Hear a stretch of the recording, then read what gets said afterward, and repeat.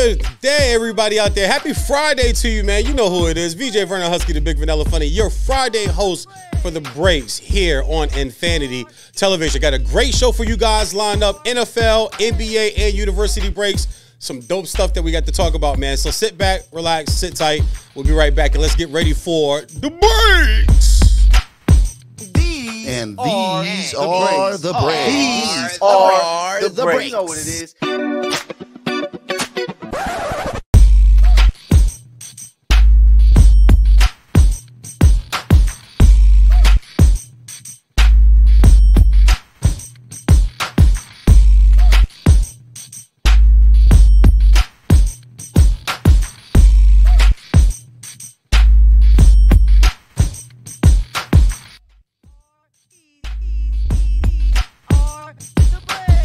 Friday, everybody. Welcome to the breaks. I'm your host for Fridays, VJ Vernon Husky, the Big Vanilla Funny, the Big Vanilla Poppy. Great show for you guys lined up today, man. So let's get right into it with some NFL news. Now, let me start this segment by telling you guys, I look, I love this city. I love Los Angeles. There's a reason why I left Woodbridge, Virginia, the DMV area, and got on a Greyhound bus for three days with three duffel bag, Nike duffel bags of clothes, and my clippers because I was a barber at the time, and came out to Los Angeles to uh, attempt stand up comedy and acting. Not attempt, I was a comedian already back east, but make it make it in LA. Get on some big stages, headline some shows, maybe get in a movie or two or things of that nature. This was 19 years ago, so my journey has been a long, great ride. And when I landed here, I didn't know anybody. I didn't have any friends, any family, absolutely no one I knew in not only the city of Los Angeles, but the state of California. So I'm 3,000 miles away from home, just starting fresh, laid my head in a Motel 6 in Hollywood, and the rest is history. I say all that to say because the one thing I love about this city is the energy. Los Angeles has an energy. DC's got an energy. New York, energy. Houston, energy. Dallas, energy. Miami has an energy. Hawaii, Maui, Honolulu, they have a vibe, you know? Seattle has a vibe. You know what I'm saying? Detroit's got a grit, an energy. Just some cities have that, and Los Angeles just has this hype, happy go lucky, everything's chill, relax type of energy here, man. Hard working blue collar town. Don't let the red carpets and award shows and all the celebrity stuff and reality and the fact that all the movies are shot out here and all the TV shows are shot out here and all the commercials are shot out. Don't let that fool you. This city is grit. This city has a hardcore energy about it, a hard working energy about it. And nine times out of 10, its teams and its athletes mirror that. I say that to start with the Los Angeles Chargers have made it official yesterday. They introduced my man, James Jacob Harbaugh, aka y'all know I calls him Jimmy Burgers, who just won my Michigan Wolverines a national championship at 15 and 0. It wasn't Michigan versus everybody. It finally being Michigan beat everybody's ass and held the trophy at the end. So he gets introduced yesterday, and I'm telling you guys, you can feel it. Like you can feel it in in the city. You can feel it in the city. It was like when Paul Gasol got traded here for Kobe. You could you could feel it. The energy was different. Shohei uh, Shohei Ohtani just signed with the Dodger. You that those those 24 hours, you can feel it. There was just an energy in this city that comes along with being uh, a Los Angelinos. I hope I said that correctly. I've been working on it. But yesterday, football energy is, is back. There's a football energy that was missing. USC had this city on lock in the early 2000s. I wasn't even here. I was watching from the East Coast, but I talked to the OGs. I hear about it. I hear about the parties. I hear about the games. I hear about the tailgating. Uh, Will Ferrell, Snoop Dogg, all the celebrities, P. Diddy, all the celebrities in the back of the end zone waiting for LenDale White to score and give him the football or asking Snoop, what play should they run? Oh, hey, third and one from the one. I say, give it to LenDale White, homie. All right, they give it to LenDale White. He scores. Give it like that was an energy that was here. Jimmy Burgers is here now as the coach of the Chargers, and I, I listen. If you live out here, you know it's a hard sell for the Chargers. This is a Raider town. This is a Laker town. This is a Dodger town. Everybody else is after that. The Kings, the Bruins, the Trojans. It's great and historical as USC is. I'm, the Lakers and Dodgers come before them, and it's not close. It's not close. They, people go to Dodger games when they're not good. People go to Laker games when they're not good. Then the Lakers are like the Knicks. They're like the Celtics, right? People, Dallas, the Cowboys, Duke, Carolina basketball. They when they're Kansas, UConn, when they're not good, fans still go because there's that grit and that energy and that love for the team. I always thought the Raiders should have been brought back here, but Vegas wants to get into sports. They're going to have a baseball team soon. And I got a feeling they're going to get some more professional teams out there. They got an NHL squad out there and they got a WNBA team out there. And both of those teams have hoisted the trophy at the end of the year. What this does is it actually brings football back to Los Angeles on a pro level. I understand that you have the Rams here, and that was big. You see a lot of Rams gear walking up and down Figueroa, but it's still a Raider town, even though the Raiders aren't here. I fully believe the Chargers now have a chance to put their stamp and their energy on this city of Los Angeles with this hire. I watched the press conference yesterday. Who's the first guy to speak? None other than Jim Hill. What does Harbaugh goes? Come on, man. I know, I know you're because you're Jim Hill from you know KK. I'm not sure what network it is. Jim Hill from such and such and such. He goes, dude, I know who you are. You're a legend. Jim Hill goes, no, you're a no, you're a like you're just that that you know patting on the back back and forth. That's an energy, but that's a blue collar type energy. Who's the second guy to speak and get his question in? Only LA Times probably best sports writer maybe of all time, Bill Plaschke. And he tells he goes, Oh my God, I'm opening up with all the with all the, the, the legends here. He goes, No, you're a legend, but thank you for pointing out that Jim Hill's a legend. Thank you for acknowledging. Like, that's what he brings. That type of energy. Like it's back. I asked on Twitter, and I'll ask you guys out here in Breaks University fan and Infanity TV fan uh, world. Tell me, can I do this? I believe you're allowed to have a side crush in sports, but your side crush can't do anything or have anything to do with your main squad. I'm a Miami Dolphin fan, been one since 1983. But I love Jim Harbaugh. The very first football game I ever went to, my stepfather took me to the Washington Redskins and Chicago Bears at old RFK Stadium. Who's the quarterback for the Chicago Bears? Jim Harbaugh. Like I'm connected with that guy. I watched him at Michigan as a young fan win the Rose Bowl, win Big Ten Player of the Year. Like I've captain come, come back for the Colts. I've I've always been a Jimmy guy. Um, when he was coach at San Francisco, Ahmad Brooks, who was the middle linebacker from UVA, I was cutting hair at his dad's barber shop, Divine Styles and Cuts in Woodbridge, Virginia. You can look this up.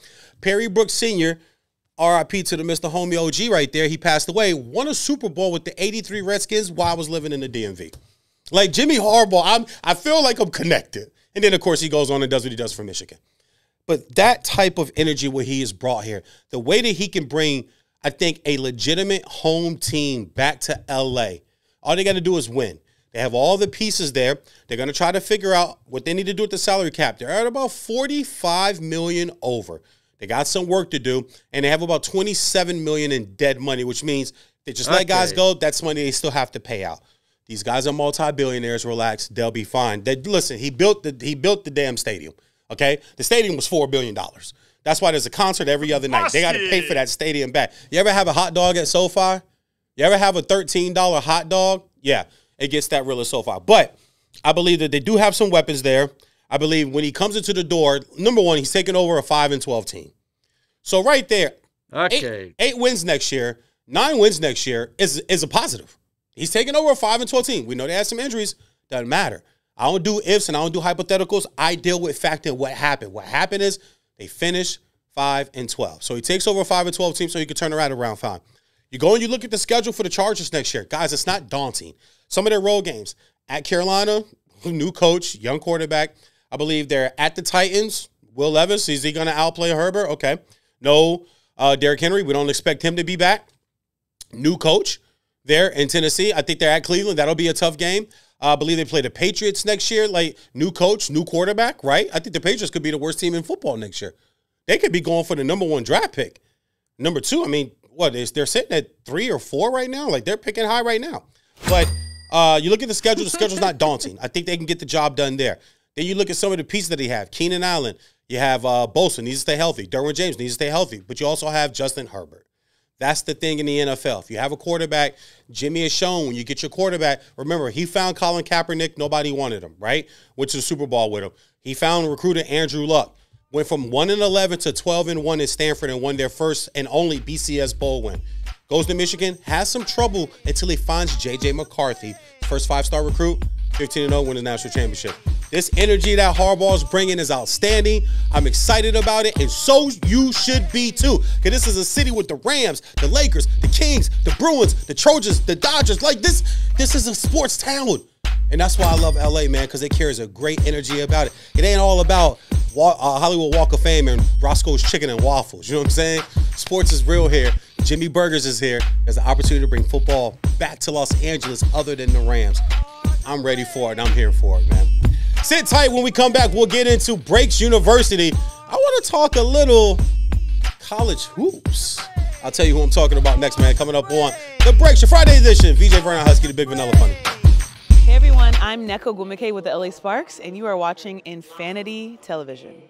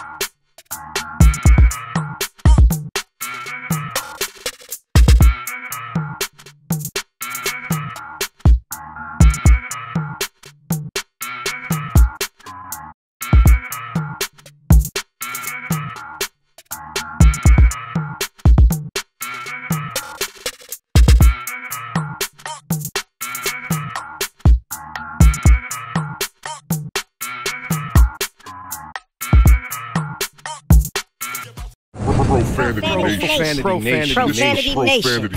A podcast for the fans, by the fans. Dive deep into the topics the other shows miss, raw and uncensored. And he's going to play team ball. His legacy is at stake. Rare, hard hitting interviews with players, coaches, and you, the super fans. I'm not hating. I'm like, okay, mm-hmm. cool. Good. Three championships in mm-hmm. five years. He's more than good, bro. Profanity Nation. Listen live or subscribe on your favorite podcast platform.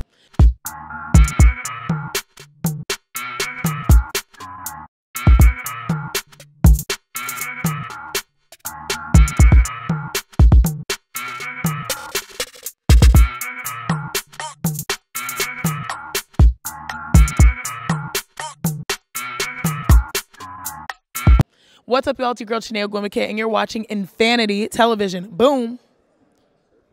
Shout out to Infanity Television. This is Juju Watkins. See y'all.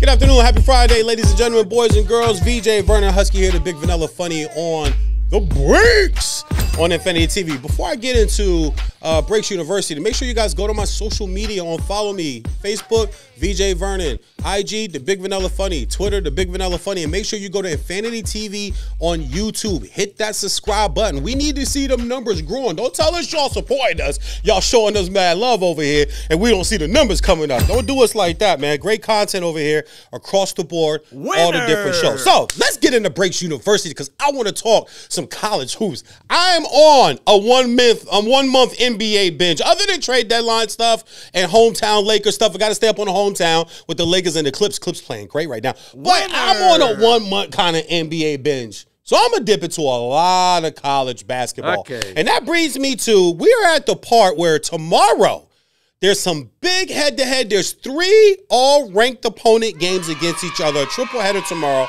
But the big one we know is my beloved Chapel Hill, North Carolina, Tar Heels taking on that other bum ass school down Tobacco Road, about seven miles down the road. I don't know the name. I begin. I think it begins with a D and a U and, and some, Jay Will, Grant Hill, Christian Laettner, a bunch of those. Yeah, guys. They all play there. Anyway, they match up tomorrow in the top ten matchup, and that wanted to bring me to. I, am looking at the rankings. This is the time of year in college basketball where the, you you can start to see the separation. Now we're gonna have upsets in March. We're gonna have uh, Cinderellas do their thing, but this is where you start to really solidify yourself, set yourself up for number one seed, number two seed. You definitely going into the bigger conference tournaments that'll be coming up in about three weeks. You want the first two round buys. I do. I don't want to play the, the if, if we're in a 16 team league.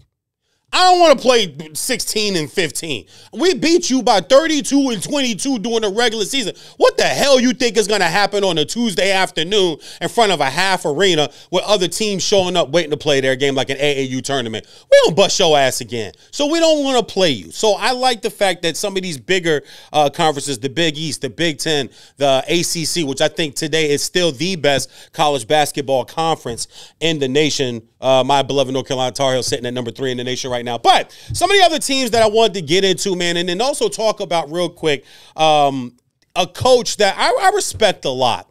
And this isn't homering. This is just real talking. This ain't even notes. This is coming from the heart and off my basketball brain and mind.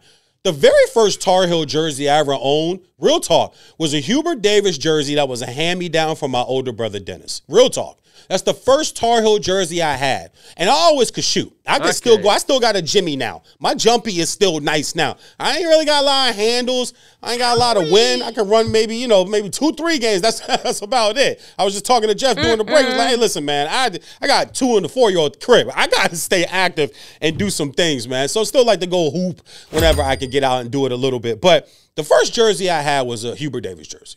So I was really excited when Hubert Davis got the job from Roy Williams at the University of North Carolina for their basketball program there. Schools like that, you keep it in house. You know what I'm saying? It's like you. I don't mind Jon Scheyer got the job. I would have liked Chris Carrawell to have gotten the Duke job, but I didn't mind Jon Scheyer getting it. I I get it wink, you know. But I wanted Chris Carrawell um, to get that position there. Uh, Michigan football, it, it's only right after Rich Rod. You got to go bring back a, a, Michigan guy, a Bo Schembechler, a Bo Schembechler guy. It, you, you, you just have to. I would love to see Bama maybe go up the Nick Saban tree, aka Snitch Saban, and, and grab one of those guys. And then, uh, other than bringing in a hot coach from uh, Washington. But when Carolina gave the job – to um, Hubert Davis, I it, it, it did my heart so good. Bye-bye. And then he kept guys like Sean May, who won a national championship, went to back to back Final Fours for the North Carolina Tar Heels. You keep a guy like that, you keep it in the family there. His first year, they're an eighth seed. They get to the national championship game. And in that season, they beat Duke on their senior night on Coach K's last home game. Okay. Then in the Final Four, they beat Duke's ass again in Coach K's last game, sent him and his lady off with their heads down. Hey, what is what it is with the camera shot on them. Like, hey, yeah, bye bye. This is what Carolina like. We sent Coach K to the rocket chair. Michigan, we sent Nick Saban to the rocket chair. It feels good when you're on that side and not on the other side. Jacksonville fans always tell me, yeah, we sent Marino to the rocking chair, 62 to seven. Ouch, that it, it, it happened, but. They get to the national championship game they're up. They're beating Kansas, and then things fall apart. Last year, there was a lot of stuff going on within the team. I'm not going to get into it because it's the past, but people that know, know. And if you don't know, then you just don't know. But you can see the difference. Some numbers I want to throw you guys out here. First 20 games last year, Carolina was 14 to 6, 79.6 points, which is a 7.4 difference in a game. This year, first 20 games, 17 and 3, 83 more points. 14.1 difference. The difference has been RJ Davis, the the USA, you know, top recruit guy, not number one recruit, but he's you know top 50, top 20 guy. excuse me, recruited when he came out of uh, when he came out of high school is now showing that he's not only the ACC player of the year, he could very well be the national player of the year. And there's one reason why coaching, and that's Hubert Davis. Hubert Davis learned from think about it. He played under he played under Dean Smith. Okay? And then you come back and you're assistant for 12 years under Roy Williams. After having a, a 10 plus year, nine or 10, maybe between nine and 11 NBA career, right? Playing under Pat Riley with the Knickerbockers, who got to finals, like went up against Jordan in Eastern Conference Finals, went up against Reggie Miller and the Pacers. Like his his history, Hubert Davis's history of basketball is pretty impressive, but it's not something that's always uh, talked about and prepped up. And that's why I wanted to take this moment today and uh, Breaks University to talk up Hubert Davis and the job he's doing. They're coaching better this year than last year because there was some inner team turmoil. You get that out. Caleb Love is gone. He's doing fine at Arizona where he was. Started hot, but we're starting to see who the guy was from last year because it was either was it going to be Caleb Love, was it going to be RJ Davis? It's RJ Davis. Simple as that. Carolina, Duke tomorrow night. They'll take that one. Also, watch UConn. UConn's playing really well right now. Purdue's playing really well right now. And I like Tennessee and what Houston have going on. As the weeks go on, we'll get into more college basketball because college football is done. So University, Breaks University for me is always going to be just straight up college hoops because I think it's a better game in the NBA. Plus, we got the fast break segment coming up next here on the break. So we'll get to some NBA there too. But show some love to my Tar Heels, man. Hubert Davis, I love you, homie. Thank you for keeping it real and keeping it, ugh, keeping it tough at Carolina, man. Coming up next on Fast Break, I'm gonna tell you guys what I told you three years ago needs to be traded. All that and more coming up on your Friday edition of The Breaks. I'm VJ Vernon, Husky, the Big Vanilla Funny. This is Infanity Television. Hey everyone, I'm Nneka Ogwumike with the LA Sparks, and you are watching Infanity Television.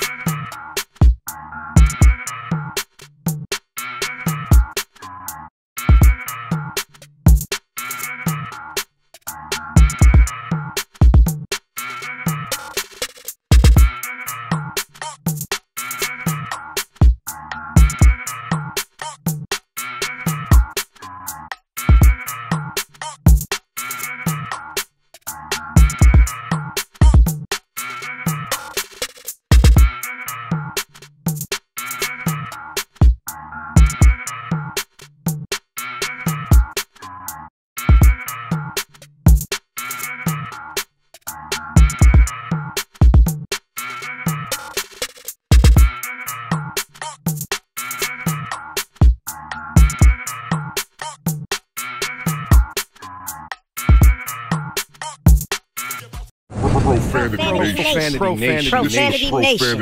A podcast for the fans, by the fans. Dive deep into the topics the other shows miss, raw and uncensored. And he's going to play team ball. His legacy is at stake. Rare, hard hitting interviews with players, coaches, and you, the super fans. I'm not hating. I'm like, okay, cool. Good. Three championships in five years. He's more than good, bro. Profanity Nation. Listen live or subscribe on your favorite podcast platform.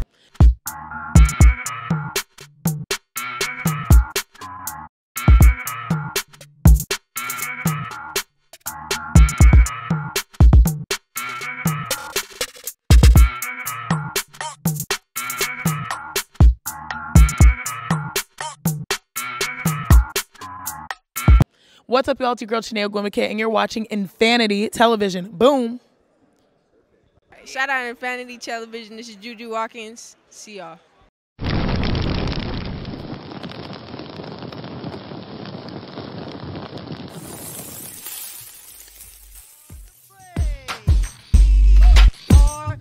What's going on, everybody? Welcome to your Friday edition of The Breaks.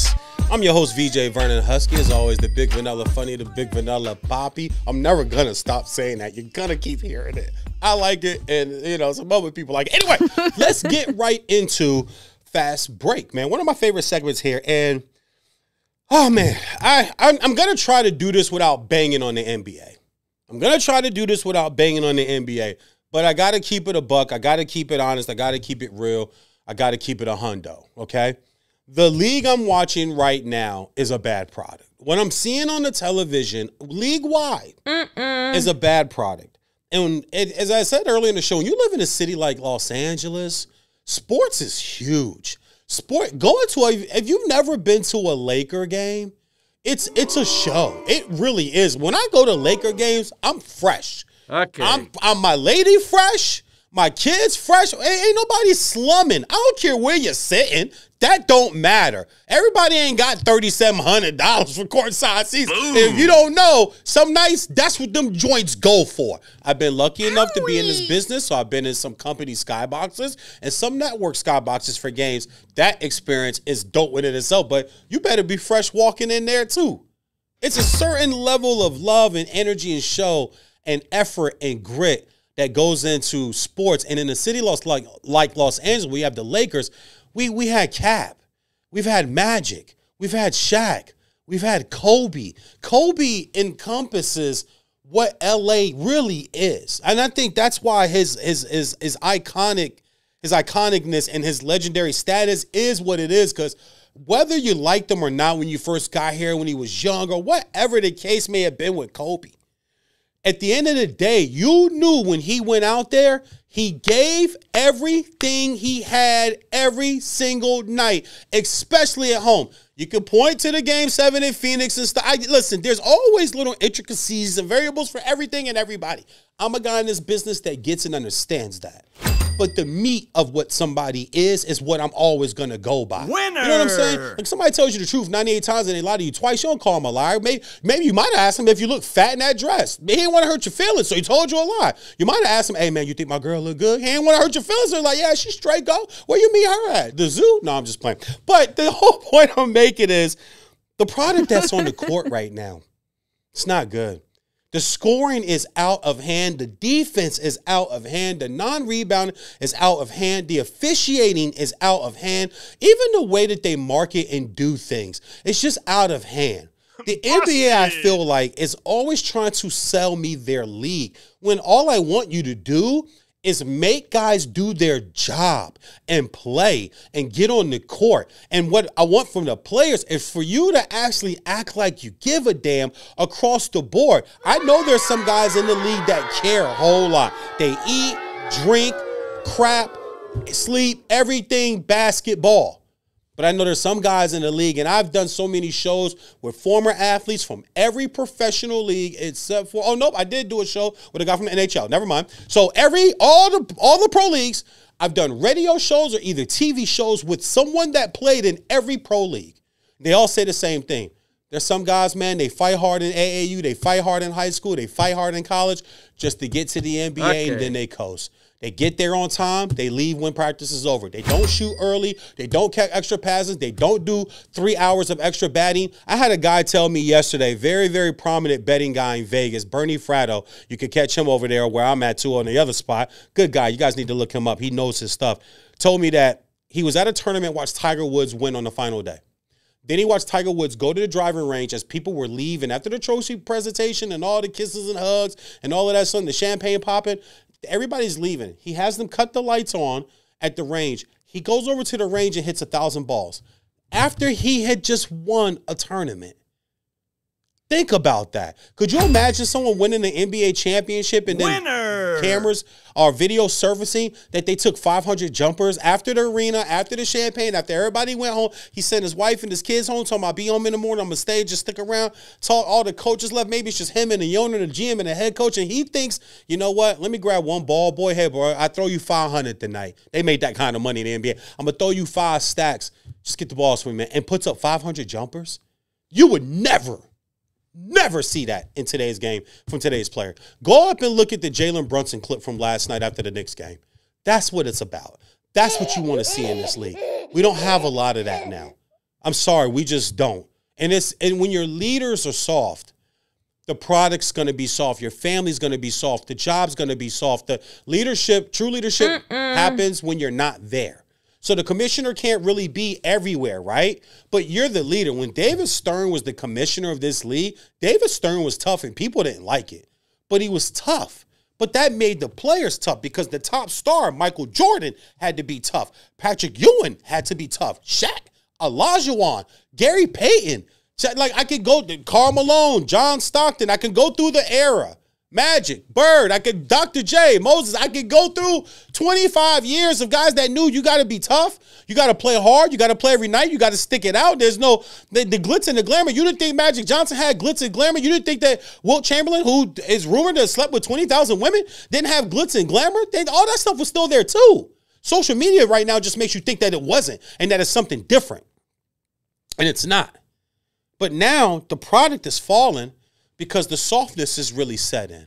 And I'll get into more of this next week on Fast Break. This is a topic I'm really gonna bang on as hard as I can, man, because this is crazy. What we're seeing, guys not playing. And if the league has to institute a rule for you to play a certain amount of games to qualify for awards, that's insane. And once again, to revert back to the NBA, you're always trying to sell me something. Just give me the product that I'm that we're asking for. Like a bacon, egg, and cheese biscuit, right? Okay. Who the hell ever thought putting tomato and avocado made it better? All you had to do is just toast the bread, little butter, slice American cheese, scrambled eggs, a few strips of bacon, put the sandwich together, cut it in a triangle. Cause I like my sandwiches cut in a triangle, and let's and let's go. you know what I'm saying? Stop trying to add things, NBA. You think you're making the product better, you're making the product worse by having soft people as the superstars in the face and the top guy is soft, so it just filters down. Scoring out of hand, you guys don't rebound, no defense.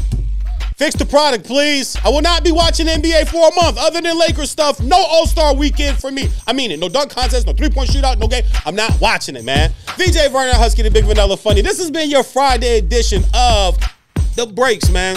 Y'all check us every Friday, 3 p.m., every day during the week, 3 p.m. God bless.